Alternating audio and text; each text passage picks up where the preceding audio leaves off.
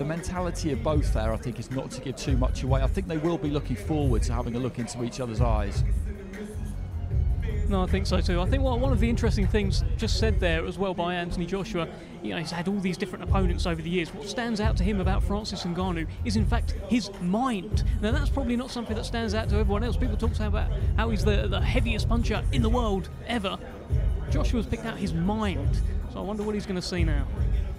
Well, ultimately, at this level, particularly, th- that is what it's about because you're going in there and you're looking to break the other person's will. You have to try and break them mentally. You might catch them early with a big shot, as we were discussing with Ben. You might do that, but you cannot rely on that.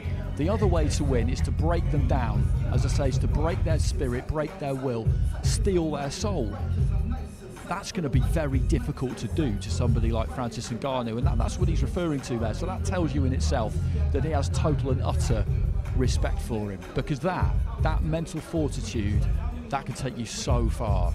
Absolutely. It, it, look, he's got that look of a guy who isn't going to get discouraged if he takes a couple of shots. He's been kicked in the head. Make no, make no doubt about that. He's, he's got elbowed in the head. He takes a lot of shots. He's a durable guy, and he can punch very, very hard. All I'm seeing there is a very, very confident Francis Ngannou, and by the way, a very confident Anthony Joshua.